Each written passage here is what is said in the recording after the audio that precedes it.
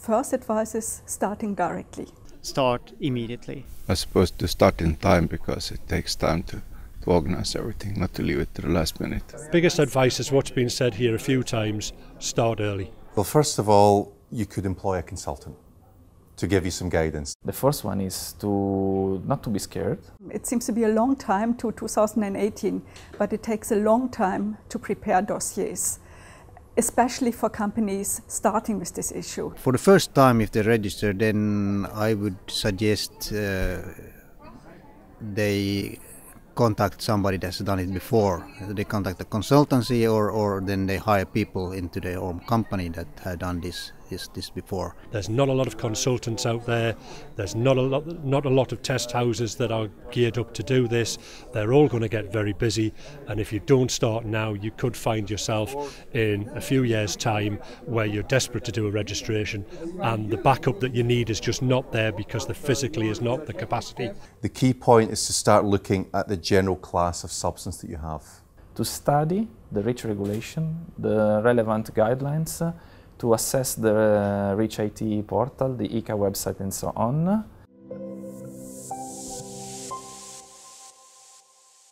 Try to get the basic idea of the substance and then tailor an appropriate analytics package involving the correct analytics techniques for that type of substance. You need to know today what your substance is, plan for plan time for substance identification, and then you need to agree in the SIEF on who's going forward with doing the relevant testing and then the relevant testing will take some time as well. You can spend millions doing it but there still isn't the capacity to do it so money will not solve the problem it's time.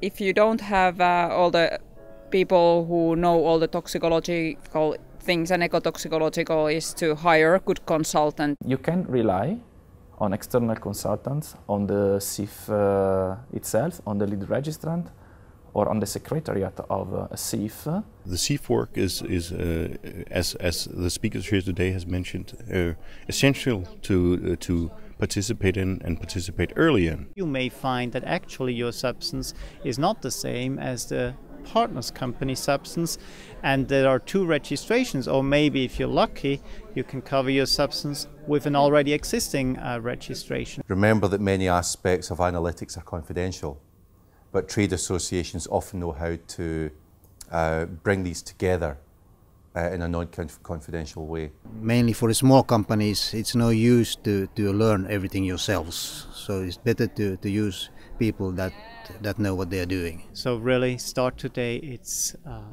it's at at the edge of being late. Probably the most difficult point for importers, they do not have direct access to the data. So they may have to, to start doing much of the work themselves. One main difficulty importers face, they can have multiple suppliers.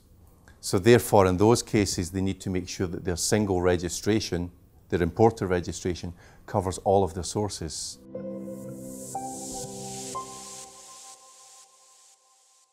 In those situations, um, probably the best route is to simply push your suppliers.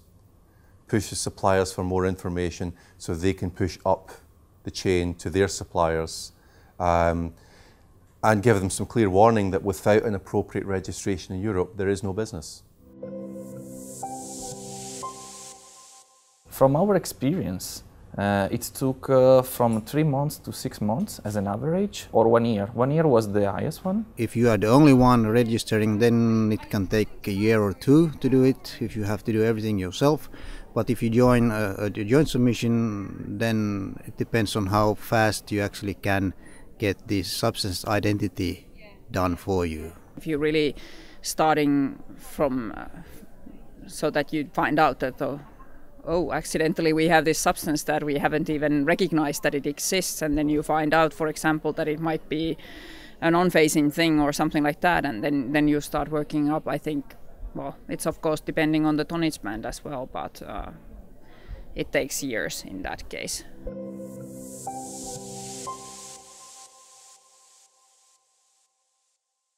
We say about 20 to 50,000 euros for the smaller volumes and about 100,000 euros for the, for the bigger ones. You could be looking at 10,000 euro for a fairly simple case, maybe up to 20 for something more complex. Um, I think for substances between 1 and um, 100 tons, the main costs are the administrative costs. Because for 1 to 10 tons, you don't need a lot of, of testing.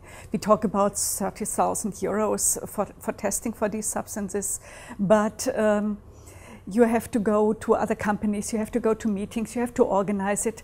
For smaller companies, you have to hire a consultancy. For 1 to 10 tons, I would assume that uh, for a simple uh, substance, that is to say, which is not listed in the um, um, uh, Annex 14, uh, one SME, uh, probably the, for one SME, the cost would be around uh, altogether, let, let's say 3,000 euro. So for our company, I would say the main cost is the administrative works, the internal costs. So the registrations fee for intermediates is it's quite low, though. That's not a problem.